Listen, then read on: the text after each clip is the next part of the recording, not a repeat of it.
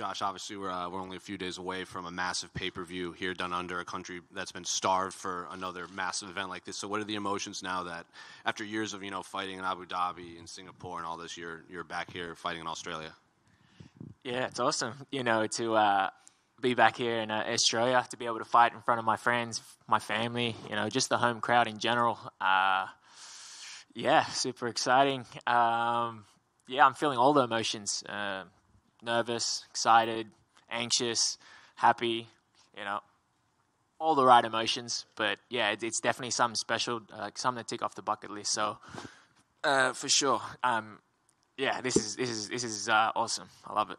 Have you had to? Uh, was there any moment in camp that you maybe had to like pull back the emotions, like you said, and just remind yourself like this is just another fight, or do you allow those emotions of fighting in front of your friends and family to to creep into your mind a lot? It's usually the other way around. I'm usually like, you know, just always reminding myself that it's a fight, but then also I have to remind myself that it's you know it's a big event, and I'm able to fight alongside a lot of you know a lot of the Aussies, the guys that you know that I, I sort of aspire to be like those guys, you know. So, and you know to see the such a historic event with with Volk going for champ champ status. So it's uh, yeah, it's a historic event, and just to be a part of it all is uh, again like it's it's so good. It is uh, amazing. And before your last fight at media day, your prediction was fight of the night. Uh, you guys put on a pretty back and forth war like that. So against Melsik, what are you what are you expecting? And I expect the same. To be honest, I expect. I, I feel like the the, the matchmakers are, are just putting me with exciting fights and um, you know, I don't blame him. Uh, if I was a fan, I'd, I'd, be interested in this fight too. Uh, so I do predict it to be exciting, or whichever way it goes, whether it's a first round finish. Um, obviously, I, I envision myself getting my hand raised, but I do expect that it's going to be exciting, depending on which Melsik shows up. And then uh, final one for me: How do you see the the main and co-main event going? Obviously, Alex going up to lightweight to fight Islam, and then Yair is fighting Josh Emmett for the interim title at featherweight. Man, I like that Yair and Josh Emmett fight. I think it's it's getting overlooked just because of how big Volkanovski and Islam is. Um, I, I think it's going to be a very competitive match with Josh Emmett and Yair. I think, yeah, if Yair can keep it at distance and be able to use his kicks and, and keep it at distance, I think he's, uh, I think he take he walks away with this one. But with with Josh Emmett's power, you just never know. He touches you once, you go to sleep, and you've seen it when he's knocked out Lamas and he's knocked out uh, Michael Johnson you know, he's he's got that power, that one touch power. And how do you see the main event going with between Alex and? Oh, that now this one's a, a very interesting one, one that I'm very excited to watch. Um, I I do think Islam gets the the fight to the ground. I just don't see him holding down Volk, um, and I do see Islam having problems on the feet with him, footwork wise, speed wise, uh, technique wise, and then I just see Islam getting tired from trying to you know, work so hard to get the takedown, but not be able to rest, and Volk just taking over in the later rounds. And plus, I'm biased. I'm, yeah. I have to ask, given those two breakdowns, do you watch a lot of tape on just people in general? Because that, that was a, like a good breakdown right there. Yeah, I think a lot of you guys forget that I, I'm as much as I'm a UFC fighter, I was a UFC fan before I became a UFC fighter. So I love the UFC. I watch all fights, you know. Um, so yeah, I'm a big fan. I, I do do my own breakdowns and stuff. And yeah, I, I, I, envision also different fights how they play out, and yeah, I, I I'm, a fan. So you know, I, I have my own uh, my opinions on stuff. So and you know, coming from fighting as well, it's also very interesting to see these sort of matchups as well. Uh, and Josh, uh, fighting in Australia compared to fighting outside, just over here. Uh, fighting outside, how have you felt the Australian public? Uh, do you get more people aware of your career because there is a card in Australia as opposed to when you have fights overseas? Like, how's that reception been? Yeah, I feel like um, when when the UFC's come to Australia, when it when it got announced that it's coming to Australia, I do feel like uh, a lot of the fighters, not only myself, had been getting a bit more, you know, a bit more attention, and uh, yeah, I do feel like the the Australian uh, community in general is, uh, um, yeah, get, getting behind us a bit more, and there's more eyes on us. So yeah. And uh, uh, fight announced between Jalin Turner and fellow Anzac Dan Hooker. Uh, Jalin Turner's taken on Mullarkey, yourself, Callan Potter, Brad Riddell. He seems to have a problem with Anzacs.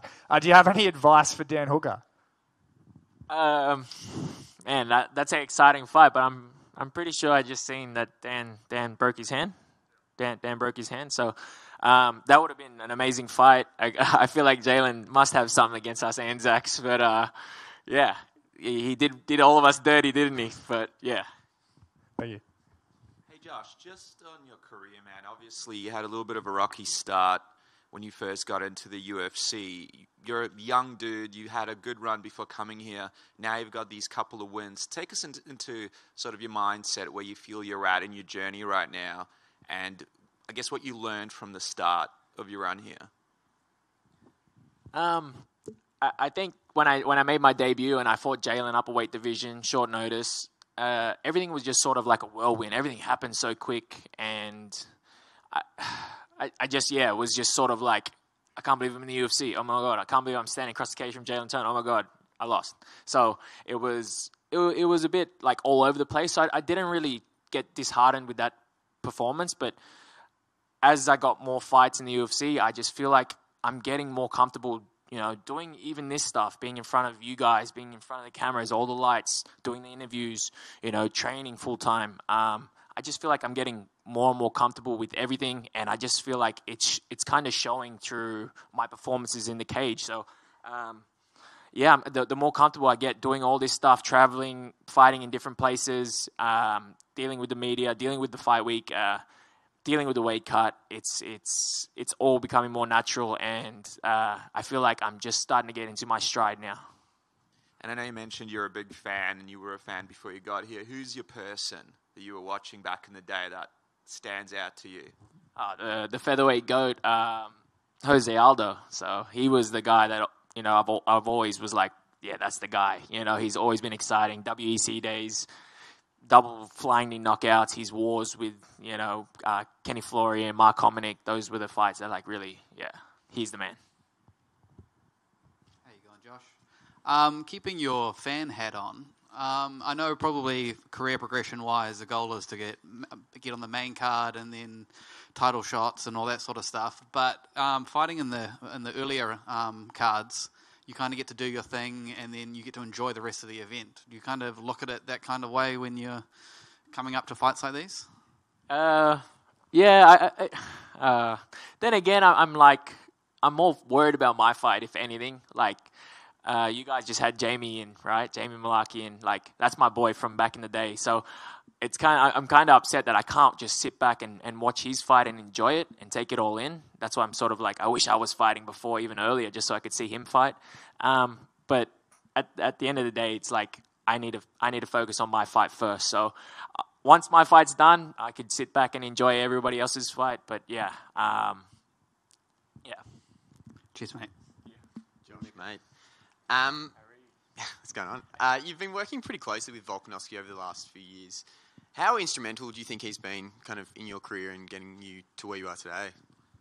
I, I think he's been he's been massive, man. Like being able to do camps with him, to be be able to train alongside him. You know, um, I used to think I work hard. I used to think I was like, oh yeah, you know, I grind and I put in the work. But then I seen, you know, firsthand, you know, how hard he trains and how, yeah, like how much work he puts in. So it was a real eye opener because he sort of set the standard. He's the he's the number one pound for pound. He's the you know he's the king of the division.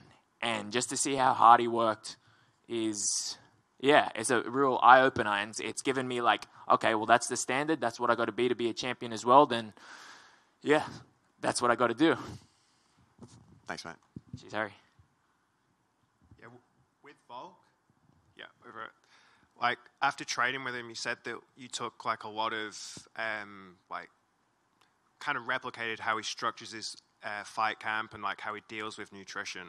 You, are you still basically following kind of the example he set, or have you started to deviate and make your own plans in that regard? I, I, I do my own thing, yeah, but like I just just the way just the way he sort of just the way he sort of holds himself um, in terms of like being it like how do I put it?